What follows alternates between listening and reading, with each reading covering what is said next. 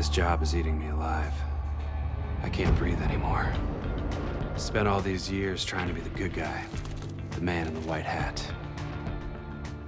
I'm not becoming like them. I am them. Hey, what are you doing, weirdo? I'm doing the best speech from Donnie Brasco. Or actually, 10 of me are doing the best speech from Donnie Brasco. What's up? Get it together, man, okay? So the store was hit about two hours ago. They took mostly tablets, laptops, and cameras. Sorry.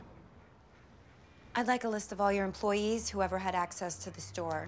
I'd also like to apologize for my partner. His parents didn't give him enough attention. Uh, detective, I already solved the case. We're looking for three white males, one of whom has sleeved hats on both arms. And how do you know that? I had an informant on the inside.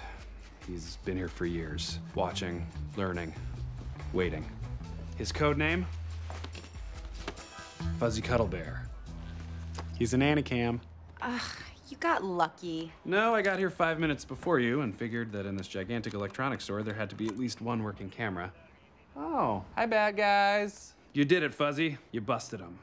It's time to come home. I'm not sure if I can. I've been undercover so long, I've forgotten who I am. Seen terrible things. I haven't known the touch of a woman in many moons. All right. Detective Santiago! Don't walk away from me!